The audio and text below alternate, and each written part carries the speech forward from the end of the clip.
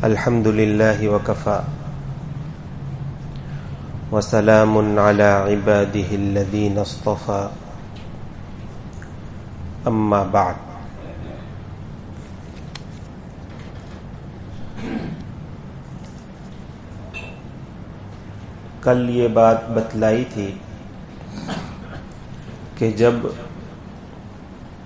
बदन से रूह निकल जाए तो मुँह बंद करना है आँखें बंद करनी है, हाथों को सीधा करना है, पाँव को सीधा करना है और बाँध देना है। एक बात रह गई थी, पेट को भी बाँध देना है। कोई वजनदार चीज़ पेट पर रख कर फिर एक पट्टे से पेट को भी बाँध देना है, ताकि वो हद से ज़्यादा फूल न जाए। आगे चले।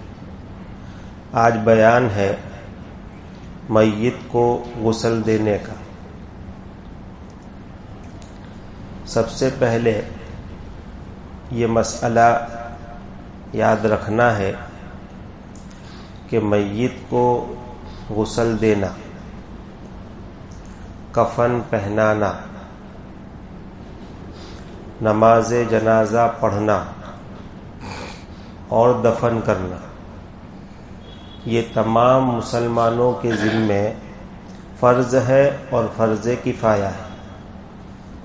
बस्ती में किसी मुसलमान का इंतकाल हो जाए तो उस बस्ती के तमाम मुसलमानों पर फ़र्ज़ है कि उसको नहलाएँ, कफनाएँ, नमाज़ पढ़ें और दफन करें। सबके जिम्मे फ़र्ज़। लेकिन ये फ़र्ज़ है फ़र्ज़ किफाया। फ़र्ज़ तो सब पर है, लेकिन बस्ती में से चंद लोग अगर इसको अदा कर दे तो दूसरे लोग गुनाह से बच जाएँगे। आठ दस लोग जमा हुए, उन्होंने ये सारे इंतज़ाम कर दिए। तो बस्ती के जो दूसरे लोग हैं, वो गुनाह से बच गए। इसको कहते हैं फ़र्ज़ किफाया। एक होता है फ़र्ज़ ऐन, जैसे पाँच वक्त की नमाजें हैं। सब बालिग मुसलमानों पर फ़र्ज़ है और सबको अदा भी करना ज़रूरी। यह है फ़र्ज़ ऐन दूसरा है फ़र्ज़ किफाया। फ़र्ज़ तो सब पर है, लेकिन सबके लिए अदा करना ज़रूरी नहीं। चंद लोग भी अदा कर दे तो उनको तो अदा करने का सवाब मिलेगा। और बाकी जो है, वो अदा न करने के गुनाह से बच जाएँगे। यह है फ़र्ज़ किफाया। यानी हमारी दीनी ज़िम्मेदारी।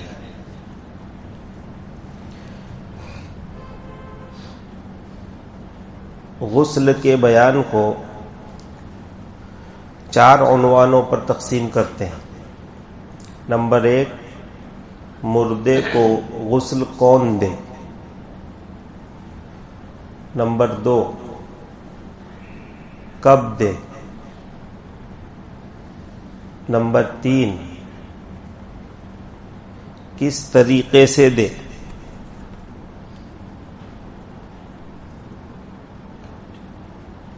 नंबर चार, किस मुर्दे को दे? नंबर एक, मुर्दे को गुस्ल कौन दे? कब दे? किस तरीके से दे? और किस मुर्दे को दे? या नंबर चार को नंबर दो पर ले आओ, गुसल कौन दे? किसको दे, कब दे और कैसे दे। नंबर एक, मुर्दे को गुस्ल कौन दे? कल ये मसला बताया है तफसील के साथ कि करीबी रिश्तेदार और घर वाले ही गुस्ल दे।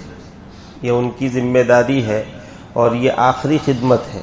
आदमी खुद नहाता है, उसको अपना गुस्ल आता है तो नहलाना भी आसान है, उसको वो भी आना चाहिए। कभी कभी ये देखा जाता है कि किसी का इंतकाल हुआ तो गसल देने के लिए इमाम साहब को बुलाते हैं कि इमाम साहब को बुलाओ गुस्ल के लिए। मुफ्ती साहब को ले आओ। एक जगह किसी का इंतकाल हुआ तो फ़ोन आया कि भाई इंतकाल हुआ है जरा आ जाओ तो अच्छा है। तो मैं जाकर पहुँचा तो वहाँ चार पाँच उल्मा तो पहले से मौजूद थे। ये क्या तमाशा करके रखा है भाई, क्या ज़रूरत है? तो मेरे भाई ओलमाए किराम और आइम्मा किराम, ये तो हमारे सरदार हैं, हमारे रहनुमा हैं। इनसे हम अपने मुर्दे नहलवाएँगे साफ़ सफ़ाई का काम इनके पास करवाएँगे। ये उनके अदब और एहतराम के खिलाफ है। हाँ कोई आलिम दीन अपने जाती ताल्लुक और मोहब्बत की वजह से हाजिर हो जाए तो जहे किस्मत। लेकिन उसको बुलाना कि आप नहलाने के लिए आओ? ये उसके अदब और एहतराम के खिलाफ है। ये काम हम लोगों को कर लेने। हाँ कुछ पूछना है तो उनसे रहबरी हासिल की जा सकती। तो नंबर एक, घर वाले नहलाएँ। ओलमा और अइम्मा को ना बुलाएँ। बाहर वालों को बुलाना, ये भी अच्छी बात नहीं। नंबर दो किस मुर्दे को नहलाना है? जिसको नहलाने का हुक्म है। नहलाने का हुक्म किसको है? वो मुर्दा जिसको नहलाना मुमकिन है। जिसको नहलाना, गुसल देना मुमकिन है। बाज मरतबा ऐसा होता है कि मुर्दे को गुसल देना मुमकिन नहीं होता। लाश जल गई। अब उसको कैसे कोयले की तरह हो गई, उसको गुसल देना मुमकिन नहीं है। लाश हार्ड पिंजर हो गई, कहीं आदमी मर के गिरा और गिरा किसी को पता ही नहीं है। महीने, दो महीने के बाद मिला। तो गोश्त पोस्ट खत्म हो चुका है उसका, हड्डियाँ हैं हम उसको गुसल नहीं देना। लाश फूल कर फट गई है और बिल्कुल चमड़ी उखड़ रही है। अगर आप नहलाएँगे तो सब निकल जाएगा। तो फिर ये इस पोजीशन में नहीं है कि इसको नहलाया जाए। उसको नहलाना नहीं। हाँ लाश फूल गई है, उससे बदबू भी आ रही है, लेकिन उसको नहलाना मुमकिन है। परेशानी होगी आपको नहलाने में, क्योंकि बदबू आ रही है। लेकिन आप उसको नहला सकते हैं, इस पोजीशन में है तो फिर उसको नहला देना अगर मल कर नहला सकते हैं तो मल कर नहला दें। और अगर रगड़ कर मल कर नहलाना मुमकिन नहीं है तो कम से कम पानी तो बहा दे अच्छी तरह से, ताकि उसका फरीज है गुस्ल क्या हो जाए, अदा हो जाए। देखो मैयत को नहलाना, ये फ़र्ज़ है। उसका नहाना फ़र्ज़ नहीं, वो तो नहा नहीं सकता। वो मैयत तो मुर्दा है, उसमें जान तो है नहीं। तो नहाना फ़र्ज़ नहीं, बल्कि उसको नहलाना, और नहलाएँगे कौन? हम और आप, जो ज़िंदा है। तो ये हमारा फरीजा है। मैत का फरीजा नहीं। इसी तरह मुर्दा बच्चा पैदा हुआ, माँ के पेट में ही मर गया था और फिर पैदा हुआ तो अब इसको मसनून तरीके पर गुसल देने का हुक्म नहीं बस जो गंदगी लगी है, पानी डाल के उसको धो के साफ़ करो, कपड़े में लपेट के दफन कर दो। इसी तरह कभी अधूरा बच्चा पैदा हो जाता है। दो महीने में, तीन महीने में हमल गिर गया तो उसको भी मसनून तरीके पे नहलाना नहीं है। उसको भी ऐसे ही पानी डाल के लपेट करके दफन कर देना तो मेरे भाई, नहलाना है मुर्दे को, लेकिन किस मुर्दे को? जिसको नहलाने का शरीयत ने हुक्म दिया है, उसको। और ये वो मुर्दा है जिसको नहलाना मुमकिन है। रगड़ कर मुमकिन है तो रगड़ कर नहलाएँगे और सिर्फ़ पानी डालना मुमकिन है तो सिर्फ़ पानी डालेंगे। और अगर कुछ मुमकिन नहीं तो फिर नहलाना माफ़ है, फिर नहलाना नहीं है उसको। वैसे ही दफन कर देना है।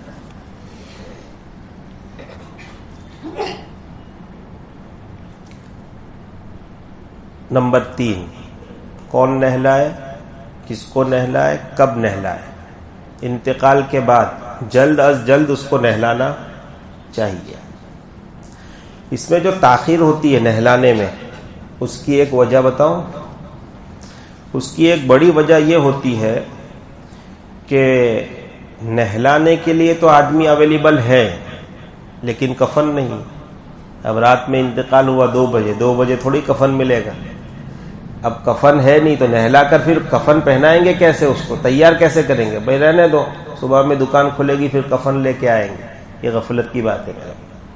हम अपने एक दो कपड़े एक्स्ट्रा रखते हैं। सफ़र में चलते हैं, वहाँ भी अगर तीन जोड़ी की ज़रूरत होती है तो चार जोड़ी रखते, कभी कोई ज़रूरत पेश आ गई। और आखिरत के सफ़र के लिए कोई इंतज़ाम नहीं। यानी मरना ही नहीं है गोया। मौत की तैयारी नहीं कर रहे। ये अपनी कोता ही है, इसको दूर कर लेना है। हर घर में एक दो कफन होने चाहिए। कभी भी किसी को मौत आ सकती है। और ये आपको अच्छा लगेगा कि आपके घर में किसी का इंतकाल हो और दूसरे के पास से कफन मांग के आपको लाना पड़े। या दूसरा लाके दो, लो, में कफन है हमारे पास, पहनाओ। अच्छी बात है, हम इतने सारे कपड़े पहनते हैं, अल्लाह ने दिया है, और फिर कफन के लिए मोहताजी हो, ये मुनासिब नहीं। इसलिए मर्द का कफन भी रखो घर में, और औरतों का कफन भी रखना चाहिए। नंबर तीन, कब नहलाए? जल्दी से जल्दी नहलाए। और कल मैंने बताया था कि जब तक मुर्दे को गुसल नहीं दिया जाता, उसके पास बैठकर कुरान पढ़ने की इजाज़त नहीं होती। अगर जल्दी आपने नहलाकर उसको पाक साफ़ कर दिया तो आने जाने वाले उसके पास बैठकर कुरान भी पढ़ सकते हैं। नंबर चार, किस तरीके से नहलाए? सुन्नत तरीके के मुताबिक नहलाए। और बिल्कुल सिंपल है, बिल्कुल सिंपल। कोई बड़ा मसला नहीं। हम ज़िंदगी में नहाते हैं, उसका जो सुन्नत तरीका है, वही मुर्दे को नहलाने का सुन्नत तरीका है। सबसे पहले इस्तिंजा करना, ये सुन्नत है। इस्तिंजा करने का मतलब है, आगे और पीछे की शर्मगाह को धोना। नंबर एक। नंबर दो, कहीं नापाकी लगी है, उसको धोना। नंबर तीन, वज़ू करना। नंबर चार, पूरे बदन को धोना।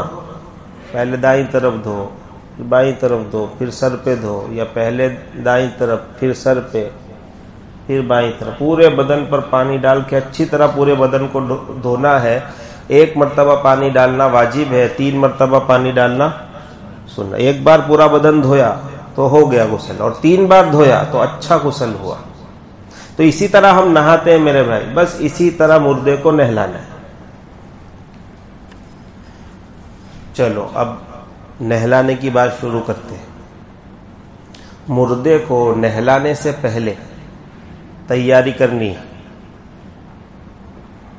तैयारी में क्या करना है? नंबर एक, पानी गर्म करो। नंबर दो, तख्ता चाहिए। उस पर रखेंगे उसको। तख्ता लाओ और उस तख्ते को धुनी दो। या धुनी नहीं देनी है तो स्प्रे परफ्यूम वो डाल दो उस पर नंबर तीन, जिस कमरे में मैयत को नहलाना है, उसमें एयर फ्रेशनर डाल दो। या फिर अगरबत्ती जला दो ये तैयारी करनी है। पानी गर्म करना है, तख्ता तैयार करना है और खुशबू कर दी है कमरे में। हो सकता है मैयत में से कोई नापाकी निकले, वो बदबू आए तो नहलाने वाले को चीड़ आए तो पहले ही सफ़ाई का खुशबू का इंतज़ाम आम हालात में भी यही है, बैतुल खला में खुशबू का इंतज़ाम होना चाहिए। इसी से इस्तेदलाल किया जाए। पानी जो हम गर्म करेंगे तो ये ज़रूरी नहीं कि चूल्हे पे ही गर्म किया जाए। पतेले ढूँढने निकलते हैं। भाई, पतेले लाओ। क्या हुआ? कि इंतकाल हुआ तो चूल्हे पे पानी, भाई, चूल्हे पे गर्म करना क्या क्या ज़रूरी थोड़ी है? आप नहाते हो तो क्या चूल्हे पे गर्म करते हो? अब तो जमाना आगे बढ़ गया, गीजर के पानी से नहाते हो ज़िंदगी भर। तो जब ज़िंदगी में गुसल हो जाता है तो क्या मरने के बाद गीजर के पानी से गुसल नहीं होगा? हो जाएगा। गीजर के पानी से नहलाओ। तकलीफ़ में मुक्तला मत करो लोगों को। खुद भी तकलीफ़ मत उठाओ। लोगों को परेशान मत करो। गीजर के पानी से नहलाओ। और पहले जमाने में जो चूल्हे पर पानी गर्म करना पड़ता था, उसमें एक तो ये कि गीजर का इंतज़ाम नहीं था। दूसरा ये कि साबुन नहीं थे। आजकल तो अच्छे अच्छे साबुन है, उस वक्त साबुन और शैम्पू नहीं थे तो बेरी के पत्ते डालते थे और उबालते थे पानी को। फिर उसमें ठंडा पानी मिला के जितनी ज़रूरत है इस्तेमाल करते थे। खोलते हुए पानी से नहीं नहलाते थे, पानी खोलाते थे ताकि बेरी के जो पत्ते हैं, उसका रस पानी में आ जाए। पानी के अंदर साफ़ करने की सलाहियत अल्लाह ने रखी है। लेकिन बेरी के पत्ते डाल के उबालोगे तो साफ़ करने की सलाहियत और बढ़ जाएगी और बदन अच्छी तरह धुलेगा।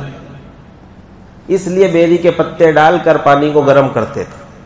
अब तो अल्हम्दुलिल्लाह, साबुन और शैम्पू आ चुका है, इसलिए बेरी के पत्ते डालकर चूल्हे पे उबालना इतनी मशक्कत उठाने की कोई खास ज़रूरत नहीं है। गीजर का पानी चालू करो और साबुन और शैम्पू से नहलाओ तख्ते को धूनी देते हैं। हाँ धूनी देने का है। लेकिन ये उस जमाने की बात है जब तख्ते लकड़ी के होते थे। लकड़ी के, कच्ची लकड़ी के तख्ते। और अगरबत्ती से जो हम धुनी देते हैं, वो धुनी नहीं है। वो धुनी नहीं है। धुनी तो वो है जिससे रोजा टूट जाए। धुआँ ही धुआँ हो जाए। तो लोबान वाले देते हैं ना, बरकत जुमेरात के दिन। पूरा धुआँ धुआँ उठता है। उसको धुनी कहते हैं। तो वो आग जला के, कोयले जलाकर उसमें लोबान है या ऊद है या इस तरह की कोई चीज़ डाल के खूब धुनी उठती थी, खूब धुआँ निकलता था। तो ये कच्ची लकड़ी के पास जब उसको तीन बार घुमाएँगे, सात बार घुमाएँगे तो इसकी खुशबू, वो लकड़ी जज्ब करेगी। तो उस लकड़ी को, तख्ते को खुशबूदार करना मकसूद है। धुआँ उड़ाना मकसूद नहीं। हाँ वो तीसरी चीज़ मुस्तकिल है कि कोई खुशबू जलाओ पूरे कमरे में, वो अपनी जगह है। और ये तख्ते को जो धुनी देते थे, ये क्यों देते थे? ताकि वो खुशबूदार हो। आज भी बाज जो कॉटन के कपड़े आते हैं तो बहुत से लोग, खासकर अरब वाले, ऊद की धुनी देते कपड़े को। अच्छी तरह उसको ऊद की धुनी देते हैं तो ऊद की खुशबू कपड़ों में रच, बस जाती है। तो खुशबू उठती है फिर कपड़े से। तो कफन को भी जो धुनी देते हैं, उसका यही मकसद है। अब इस जमाने में हमारे पास परफ्यूम स्प्रे आ गया है तो अगर हम धुनी को हटाकर परफ्यूम स्प्रे डाल दें, और अब तो लोहे के और जस्ते के तख्ते हैं, ये कहा खुशबू को जज्ब करते हैं? तो स्प्रे से ही काबू में आएगा मामला। धुनी से काबू में आने वाला नहीं है, इसलिए स्प्रे डालो। और रूम में भी रूम फ्रेशनर उड़ाओ, अगरबत्ती जला सकते हो, अगरबत्ती जलाओ। ये हो गई तैयारी। इसके बाद मुर्दे को लेकर आना है तख्ते पर। अब यहाँ जो गुसल देने वाले हजरात हैं, उनको तीन चार बातों का एहतमाम करना चाहिए, बहुत ज़्यादा। नंबर एक, पर्दे का एहतमाम। सतर पे निगानी गिरनी चाहिए। जो लोग नहला रहे हैं, उनको चाहिए कि उनकी निगाह भी सतर पे न गिरे। और दूसरे किसी की निगाह भी पर्दे का भरपूर तरीके से इंतज़ाम करना। नंबर दो मैयत और जनाजे का इकराम बाकी रहना चाहिए, उसकी तोहीन या उसकी बेअदबी जैसा कोई बर्ताव नहीं होना चाहिए। उसकी इज़्ज़त होनी चाहिए, इकराम होना चाहिए। इन दोनों चीज़ों के लिए ज़रूरी है, पर्दे को बाकी रखने के लिए और मैयत का इकराम हो, इसके लिए ज़रूरी है कि दो तीन आदमी जिनकी ज़रूरत है, वही गुसल दे। हमारे यहाँ ज़्यादातर तमाशा हो जाता है। हर आदमी आ रहा है, क्या हो रहा है? गुसल हो रहा है। आके झांकेगा, ओ, गुसल हो रहा है, चलो गया। क्या हो रहा है? गुसल आ रहा है। गुसल हो रहा है। क्या है तमाशा हो रहा है? क्या है क्या है? हम्माम में इसी तरह झांकते हो आप लोग? कि भाई नहा रहा है वो नहा रहा है, चलो। यानी मैयत को तमाशा बना के रखा है और उसके इकराम का कोई पासो लिहाज नहीं रखा है। हया और शर्म की बात है। भीड़ भड़ाका जमा मत करो, पाबंदी लगा दो दो आदमी को खड़ा कर दो, अंदर कोई नहीं आएगा। खुद भी मत देखो, सतर। और किसी को देखने भी मत दो, मेरे भाई, ये बहुत ज़रूरी इसीलिए ओलमा ने लिखा है कि जब कपड़े उतारेंगे तो कपड़े भी दो तरह के हैं। ये ऊपर का कुर्ता है, ये बगैर काटे हुए नहीं निकलेगा इस तरह हाथ तो होने वाले नहीं मैयत के। तो इसको काटना मजबूरी है, इसको काटेंगे। और फिर इसको फेंक देना कोई ज़रूरी नहीं। जैसे ये कटा हुआ कपड़ा, हमारे पुराने कपड़े हम दूसरे काम में यूज़ करते हैं, पोछने में वगैरह। तो इसको भी धोकर आप पोछने वगैरह में इस्तेमाल कर ले, इसको फेंक नहीं देना है। बनियान है, उसको भी काटना पड़ेगा। लेकिन पैजामा उतारा जा सकता है, उसको काटने की ज़रूरत नहीं। फिर ये बाज लोग ये समझते कि काटना यानी सब कपड़ों को काटो। औरतें समझती है कि जो चूड़ी पहनी हुई है, उसको तोड़ना ज़रूरी है तो फिर तोड़ेंगी। ऐसा नहीं, अगर निकल सकती है तो उनको निकाल लेना। है हाँ कोई चूड़ी इतनी टाइट है कि वो निकल ही नहीं सकती, फिर आपने तोड़ा तो अलग बात। तो जो चीज़ें अच्छे अंदाज में निकल सकती है, उसको निकाल लेना। है और फिर इन कपड़ों को सदका कर देना कोई ज़रूरी नहीं। आमतौर पर यही समझते कि इसको सदका करो। अरे, ये तो माले मीरास है। मैयत इसकी मालिक थी, मरने वाला इसका मालिक था। अब उसका इंतकाल हो गया तो उसने जितनी चीज़ें छोड़ी है, एक रुमाल छोड़ा है तो उस रुमाल में भी सब वारिस, वारिसों का हक है। एक टोपी छोड़ी है, उसमें भी सबका हक है। आप कौन होते अकेले उसको सदका करने वाले?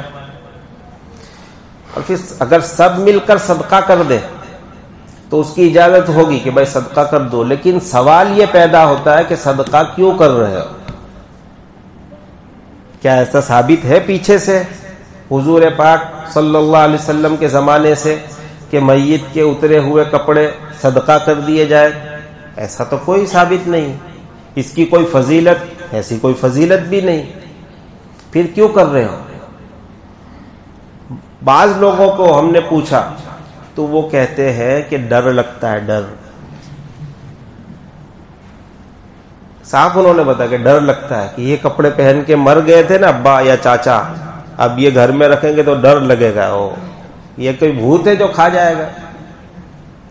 ये एक वहमी चीज़ है और बेकार है, बेअसल है, इसकी कोई दलील नहीं। इसलिए मेरे भाई, और बाज तो ये भी समझते हैं कि ये कपड़े देने से उसकी मकफिरत हो जाती है। ये भी गलत है, ऐसा कुछ नहीं। वो कपड़े इस्तेमाल कर सकते हो तो इस्तेमाल करने। अरे भाई, अब्बा की अब्बा की यादगार है, अगर इस्तेमाल कर सकते हो तो करो ना, क्यों उसको सदका कर रहे हो? अब्बा की टोपी है, इस्तेमाल करो उसको। बहरहाल, बाप जो है, बाप है अपने औलाद के हक में तो वो बाबरकत है। जैसा भी अपनी औलाद के हक में तो वो बाबरकत है। वो बाप है, जैसा भी है। तो अपने बाप की यादगार है, उसको इस्तेमाल करो। इस तरह से सदका मत करो। खैर, कपड़े उतार दिए।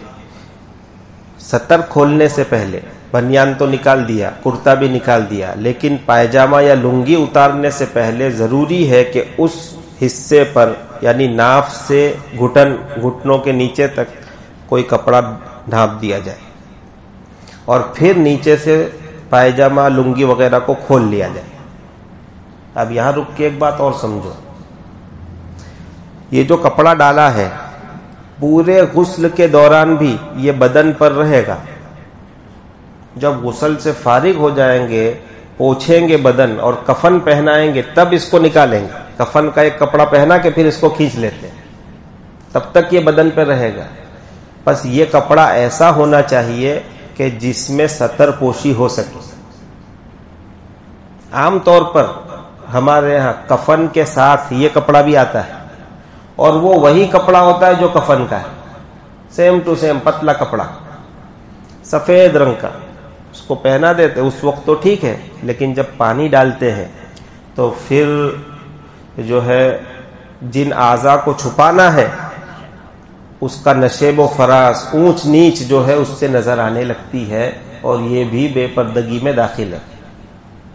जिन आजा का छुपाना ज़रूरी, उनकी ऊंचाई, नीचाई को छुपाना भी ज़रूरी, बिल्कुल पता नहीं चलना चाहिए, सीधा रखना चाहिए। जैसे हम ज़िंदगी में पहनते हैं, पूरा पर्दा रहता है। तो मेरे भाई, मोटा कपड़ा हो और रंगीन हो। ये पतला वाला नहीं, मोटा और रंगीन कपड़ा। अगर आसानी के लिए हम कहें तो तौलिया। टुवाल आता है ना टुवाल वो मोटे वाला टुवाल जो लंबा चौड़ा हो, उसको लपेटो और फिर सतर्क का कपड़ा नीचे से निकाल लो। हज़रत मुफ्ती अब्दुल रहीम साहब लाजपुरी रहमतुल्लाह ने यह वसीयत फरमाई थी कि जब मुझे नहलाया जाए तो मेरे सतर पर मोटा काले रंग का कपड़ा डाला जाए।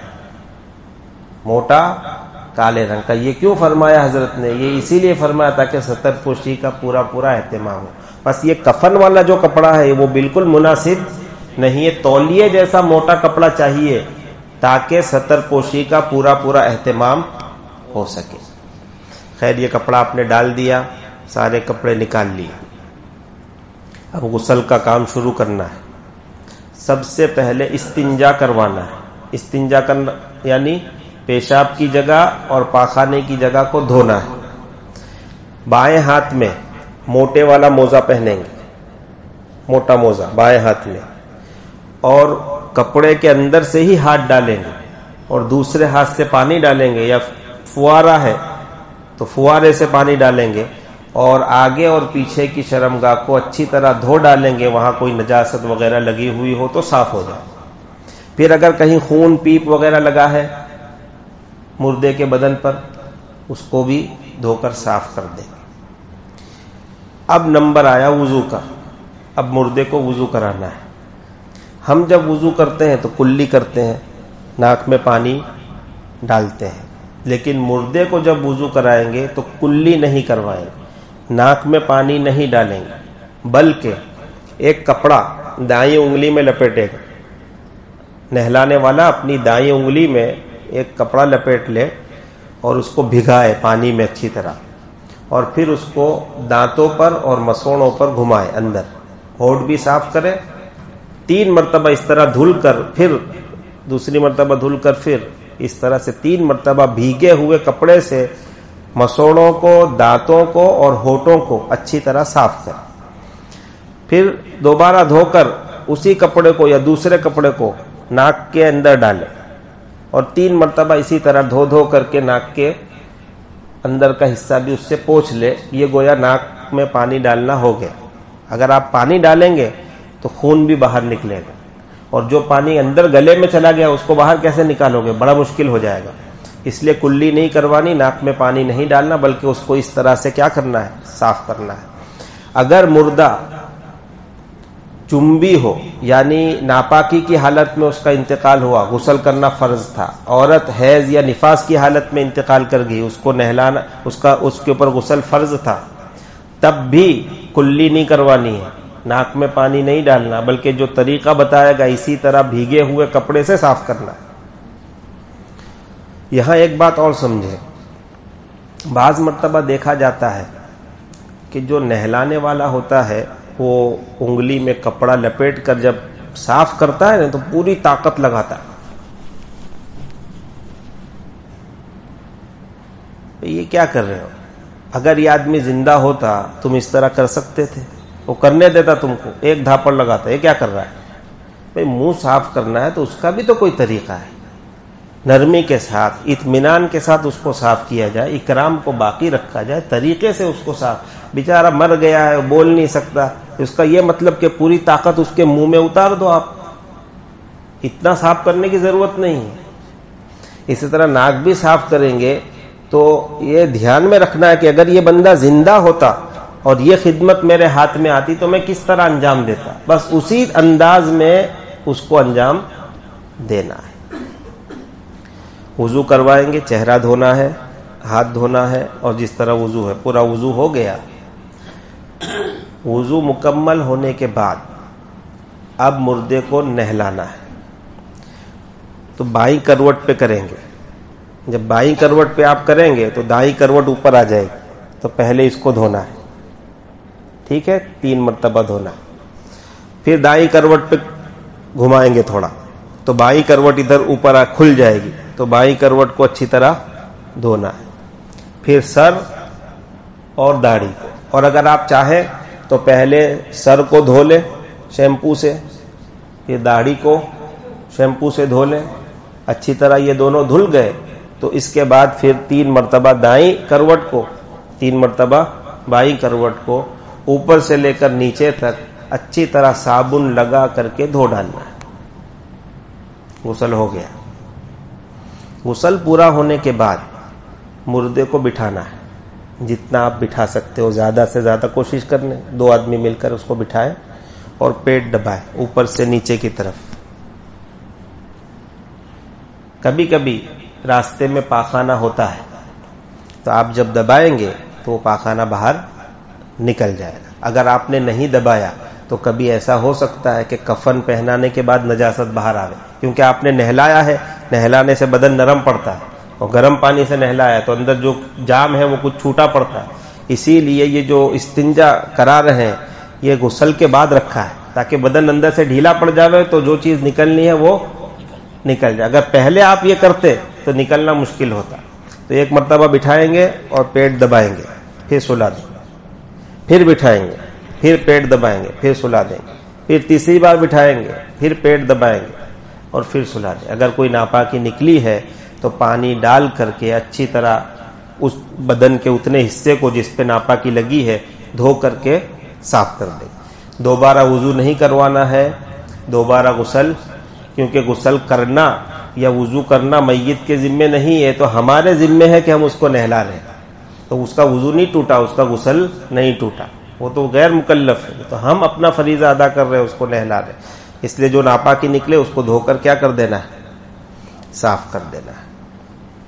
इसके बाद खुशबूदार पानी, चाहे वो काफूर का पानी हो या कोई और पानी हो, वो खुशबूदार पानी पूरे बदन पर तीन मरतबा डाल देना पहले ज़माने में चूँकि सादे पानी से नहलाते थे तो काफूर का पानी डालते थे ताकि खुशबू आए। अब तो एक से एक साबु निकल गए हैं तो उस साबु से जो आपने नहलाया है तो बदन तो खुशबूदार हो ही गया इसलिए अगर न भी डाले तो ये सुन्नत चूँकि पहले ही अदा हो चुकी है, इसलिए सुन्नत छोड़ने का गुनाह नहीं होगा। इसके बाद मुर्दे को उठाना है पोच डालना है। तौलिए से पोच कर, उठाकर कफन पे रखना है। कफन पे रखने के बाद क्या करना है? यानी कफन किस तरह पहनाना है? इनशाला इसको कल बयान करें। आज गुसल हमने दे दिया अच्छी तरह। मुर्दे को उठाकर कफन पर ले आए। अब कफन पहनाना है। कफन पहनाने के बाद मुर्दे को रखना है कमरे में। एक घंटा, दो घंटा जितनी देर है। और रखने के बाद उसको कांधे पर उठाकर ले जाना है। फिर उसकी नमाज़ पढ़नी है और उसको दफन करना है। जितना इंशाल्लाह होगा, आइंदा कल उसको बयान करेंगे। वो आखिर दावाना अनिलहमदिल्ला रबालमी कि रोज़े की हालत में अगर उल्टी हो जाए, वॉमिट हो जाए तो क्या रोज़ा टूट जाता है?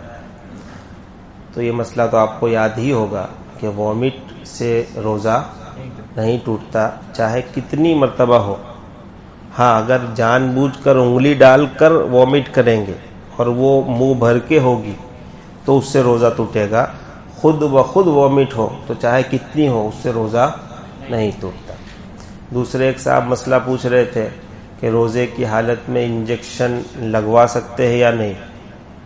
तो जवाब यह है कि रोज़े की हालत में इंजेक्शन भी लगवा सकते हैं, बोतल भी चढ़ा सकते हैं, इससे रोज़े पर कोई फ़र्क नहीं पड़ता। सुबहानक